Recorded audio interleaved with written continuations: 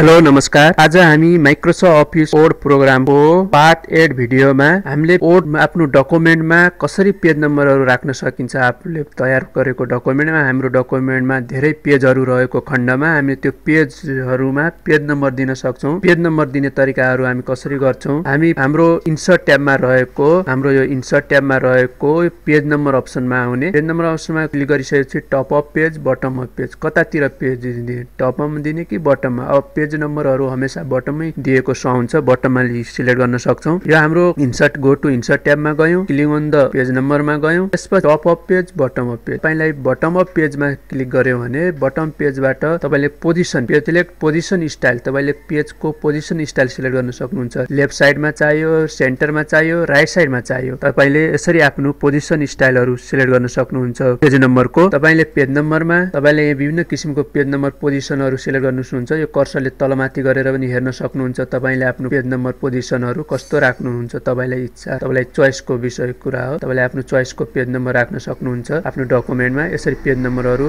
राख्न सक्नु जस्तै मलाई कुनै एउटा मैले राइट साइडमा पेज नम्बर राख्न चाहेँ अथवा मैले सेन्टरमा राख्न चाहेँ मैले सेन्टरमा क्लिक गरेँ। अब प्रत्येक पेजको फुटर साइडमा हाम्रो पेज नम्बर आएको छ। हाम्रो डकुमेन्टमा जति पेजहरू रहेका हुन्छन् त्यो पेजमा पेज नम्बर गएर बसेको हुन्छ यो। दुई नम्बर पेज तिन नम्बर पेज तिनवटा पेज छन् मेरो डकुमेन्टमा। मेरो डकुमेन्टमा तिनवटा पेज छन्। त्यसमा पेज नम्बर गएको छ। अब तपाईँले यसरी पेज नम्बर हाल्न सक्नुहुन्छ। अब तपाईँले यो पेज नम्बरमा क्लिक गर्ने बिचमा तपाईँको फुटरमा हाम्रो पेज नम्बर गएको छ। त्यसैको सामुन्य तपाईँले हेडर र फुटरको प्रयोग गर्न सक्नुहुन्छ। हेडर र फुटरको प्रयोग तपाईँले हेडरमा कुनै म्याटरहरू लेख्न सक्नुहुन्छ फुटरमा कुनै म्याटरहरू लेख्न सक्छ जस्तै तपाईँको कुनै बुक किताबहरू टपमा लेखेको टाइटलहरू लेखेका हुन्छन्। प्रत्येक पेजको टाइ टपमा लेखेका टाइटलहरू अथवा प्रत्येक पेजको फुटरमा लेखेका टाइटलहरू तपाईँ लेख्न सक्नुहुन्छ। एउटा पेजमा लेखेर प्रत्येक पेजमा हाल्न सक्नुहुन्छ भने हेडर र फुटरको प्रयोग गर्न सक्नुहुन्छ। यो हाम्रो युज हेडरको लागि इन्सर्ट ट्याबमा हेडर अप्सनमा क्लिक गर्ने त्यसपछि त्यसबाट पनि हेडरको स्टाइल सिलेक्ट गर्न सक्नुहुन्छ। तपाईँ कस्तो टपिक्समा हेडर लेख्न सक्नुहुन्छ? लाइनको माथि हेडर लेख्न सक्नुहुन्छ अथवा हेडर अनि हेडर लेखेर त्यसपछि अनि टाइटल लेखेर त्यसको इयर पनि लेख्न सक्नुहुन्छ। यसरी आफ्नो चोइस गर्न सक्नुहुन्छ। जस्तै तपाईँले हेडरमा क्लिक गर्नुभयो हेडरबाट यसबाट लिस्टबाट तपाईँले कस्तो टाइपको चाहियो तपाईँलाई त्यो सिलेक्ट गर्नु जस्तै मैले यो टाइप अफ डकुमेन्ट यो लगेँ। अल्फाबेटवाला लगेँ मैले यसमा क्लिक गरेँ। माथि तपाईँको हेडर आयो टाइटल भनेर आउँछ। यस यो बक्समा किबोर्डबाट टाइप गर्ने कुनै पनि कुराहरू किबोर्डबाट टाइप गर्न सक्नुहुन्छ। जस्तै एमसिसी भनेर म टाइप गरेँ कम्प्युटर भनेर मैले टाइप गरेँ। यसरी मैले प्रत्येकको शिरमा हेडरमा मैले म्याटर एमसिसी कम्प्युटर भनेर टाइप गरेँ। अब हेर्नुहोस् प्रत्येक कम्प्युटरको शिरमा हाम्रो गएको छ। यसरी हामी हेडरको प्रयोग गर्न सक्छौँ त्यसै गरी हामीलाई फुटरहरूको प्रयोग गर्न चाह्यौँ भने हामी फेरि इन्सर्ट ट्याबमा जान्छौँ। इन्सर्ट ट्याबमा गइसकेपछि हामीले फुटरको प्रयोग फुटरमा क्लिक गरेर फुटरमा पनि कस्तो खालको फुटर चाहियो तपाईँलाई? त्यही अनुसारको हामीले यहाँबाट चोइस गर्न सक्छौँ आफ्नो। जस्तै तपाईँको footer use to footer insert ट्याबमा गयौँ फुटर अप्सनमा क्लिक गऱ्यौँ। त्यसपछि आफ्नो चोइस कस्तो सिलेक्ट फुटर टाइटल स्टाइल कस्तो टाइटल तपाईँको चाहिने हो फुटरमा लेख्ने। त्यो पनि सिलेक्ट गर्न सक्नुहुन्छ। त्यो मैले फुटरमा क्लिक गरेँ फुटरमा क्लिक गरेँ। फुटरमा क्लिक गरेँ मलाई यो अल्फाबेटवाला यो अप्सन चाहियो। मलाई टाइप टाइप टेक्स्ट चाहिएको छ र पेज नम्बर पनि चाहिएको छ। मैले यो स्टाइल सिलेक्ट गरेँ। तपाईँको फुटरमा हाम्रो जस्तै एमसिसी भनेर मैले एमसिसी भनेर मैले लेखेँ।